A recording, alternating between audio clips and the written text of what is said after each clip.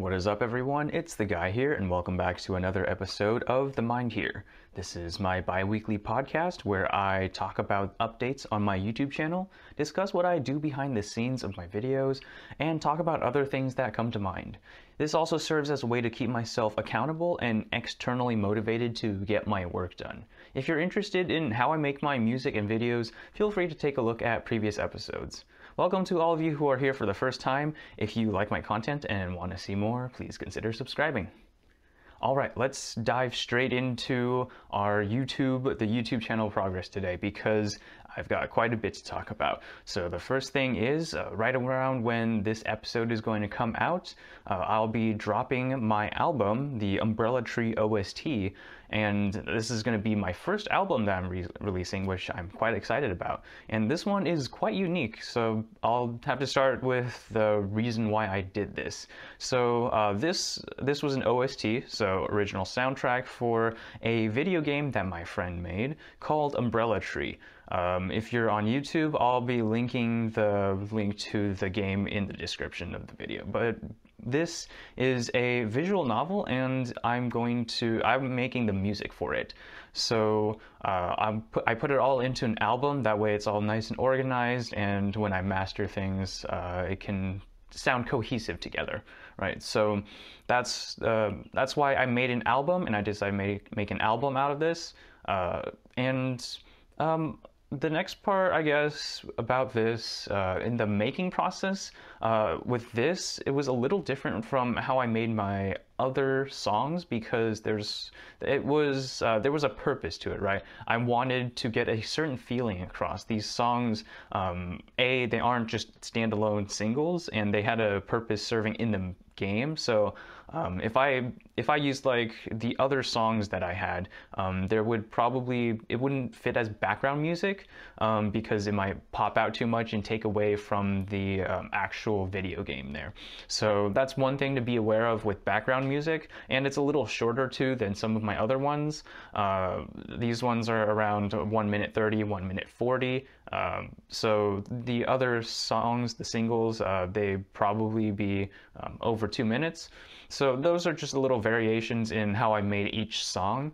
And because I wanted to aim for a specific feeling. Like some of them I wanted to be happy, others a little more tense, right? So uh, I had to design the song in that sense and engineering engineer it a little bit uh, compared to some of the other um, some of the other songs that I've done, which just sort of comes from inspirations, and uh, most of the the ones are just covers, which are um, or covers or trans, uh, transcriptions. So it's just taking the original song that was already there and putting my own twist to it. So those are the different characteristics of it. This is why uh, these songs will sound a little different because they have a different purpose to it. Um, and another thing interesting about this is that uh, I'm going to see if I can put this onto Apple Music and Spotify. Uh, and this is just because I want to expand and see if this is something that works well for me. If it doesn't, then uh, it's just a few a few songs on there. That's fine, and no one will probably find me anyways. So that's the good thing about starting out is that uh, there's it's not really high stakes. Uh, but the reason why I chose to do it now and not before is because uh, I wanted to make sure my music was good enough to start expanding, right? I don't want to start uh, distributing my music without having it actually be high quality. So I want to focus on the quality first and then the distribution, right? I have to have substance behind what I'm trying to give to everyone.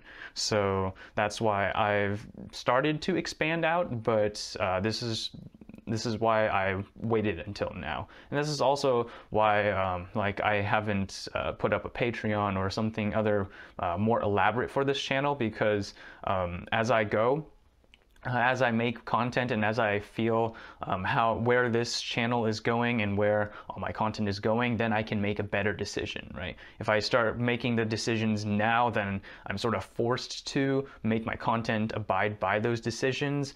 Uh, if I have to roll back my decisions, then it, it becomes kind of awkward and um, all, all sorts of troubles come in. So waiting on that and going with a flow there, uh, that's sort of how I take this in my channel. So uh, there, there are some things that on my channel that I planned to do, but then I, it didn't turn out well, or um, I didn't start going into it, so took a different turn for my channel. So um, that's those are a few things that I've learned throughout the process of making my videos and doing my videos on my channel.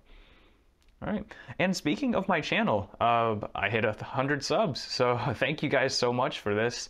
Um, a quick disclaimer, though, this probably most of this is due to uh, uh, my uh, my peers from uh, my university. They found my channel, and then there was a jump of subs. So uh, a little bit of cheating there. Uh, but uh, overall, though, uh, before that, I was already hitting 90s, ni- lower 90 subs. So um, I've been quite amazed with how my channel's been growing. It hasn't been uh, like exponential or anything, but there has been a lot of people, and the I'm still amazed to see that there are people who I don't know uh, personally that are subscribed. So thank you guys so much for your support. Um, I continue. I hope to continue making my songs and improving. Uh, put out some nice content for you guys. Um, and I appreciate any feedback you guys have. So really thank you guys for all the support you've given me in hitting this. I don't have anything planned for 100, um, despite being such a good number to do something with, because of uh, college starting up and um, becoming busy with all this. So I'll I'll do something a little more elaborate for uh, some other future round numbers.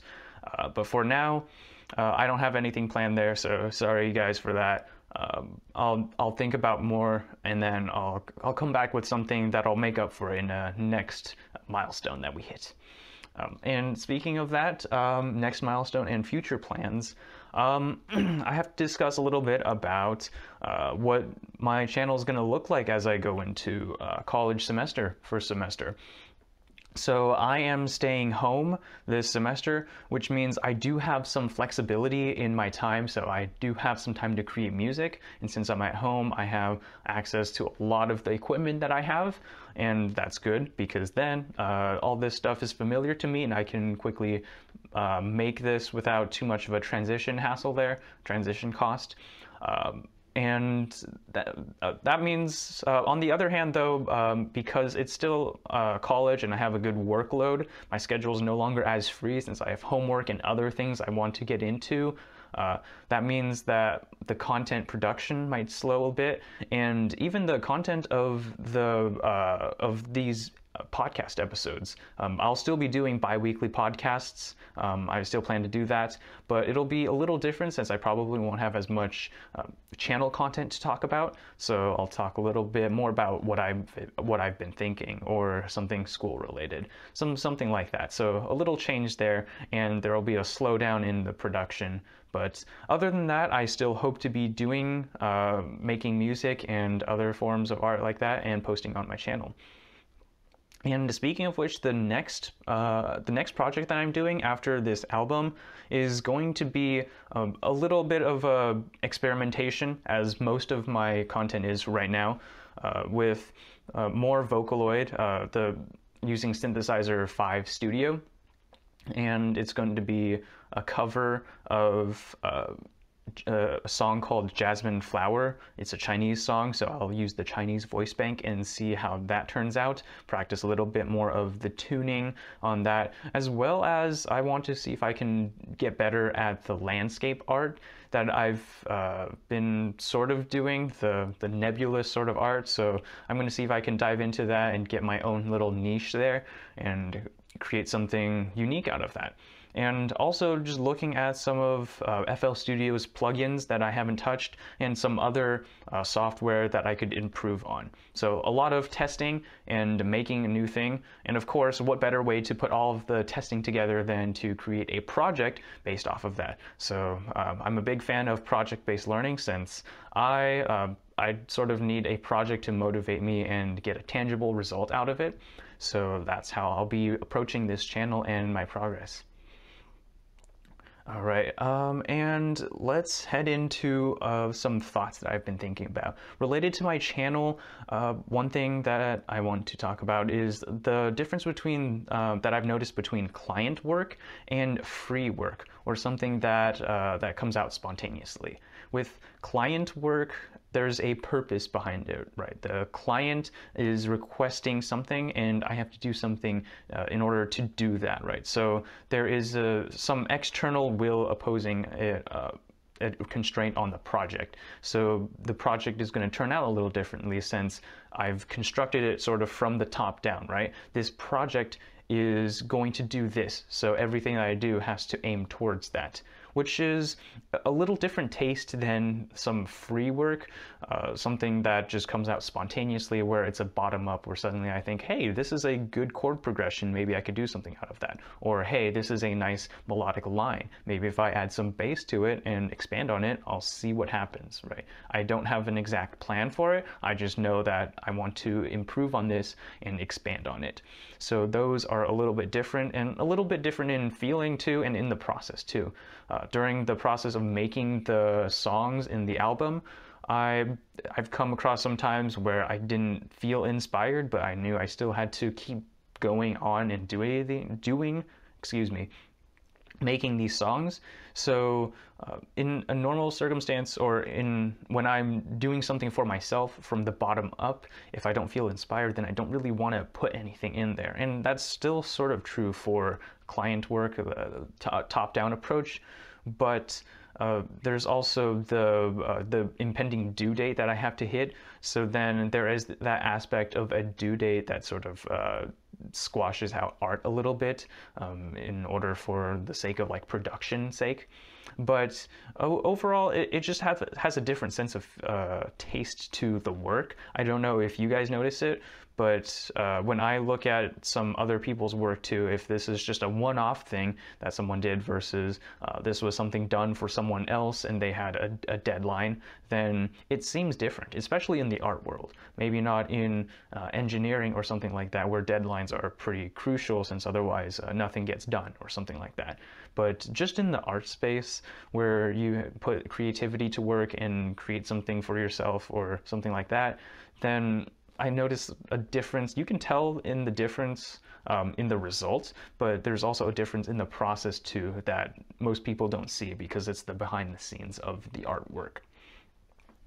And um, another thing that I've been thinking about uh, during the past two weeks, between this episode and last episode, was the idea of the lockdown generation. Uh, and this was just something that I saw in an email newsletter.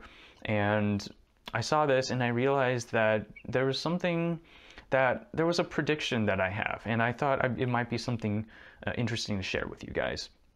So, my prediction is that this lockdown generation, it was sort of speaking to um, everyone that was in this time, but I have a feeling that the kids who are growing up right now around the world, in the US especially, uh, around this time, so like kindergarten, second grade, somewhere around there, those people that are growing up, they might be part of a almost different generation because of the COVID-19 pandemic. And the, or not even just that, um, but the reason why I think that is, is uh, because the the way that their world has been constructed to them, the world they know, um, that'll influence their behavior overall and how they um, view the world going into the future, right? For example, people who lived in, during the Great Depression, they uh, come out of this with a scarcity mindset. Um, they want to make the most out of things, right? Because that makes sense. They didn't have a lot during that time, so now they want to hold, make the most out of uh, what they have. They hold on to things a lot, right? Uh, I haven't done research into this. Uh, this is uh, based off of some things I've read in the past and some things I've been thinking about. So don't take all this as fact. This is just uh, some ideas that have been popping into my head. But with with the idea of this is that this generation, the lockdown generation, not specifically people like high schoolers who knew of a world where uh, we could go outside and have fun with friends and we were more relaxed. Uh, I feel like the, the generation growing up now uh, will be in a trustless. They'll view the world through a trustless lens. And the reason why I say trustless is because during this pandemic, it really showed how uh, broken the government systems have been in the U.S. So uh, there have been there was already a lack of trust and a division, a strong polarization between the political parties. So there was a loss of trust there, and then the increasing cybersecurity attacks, issues with that. There was also a loss of trust there. And now that you can't even come near to someone else without the risk of getting an infection or something like that, um, there really starts to seem like a loss of trust, right? You, you start you look at this world and you grow up in a trustless world. So then maybe their behaviors in the future might seem odd to those of us who weren't part of that generation, but it might be something that's plausible to them.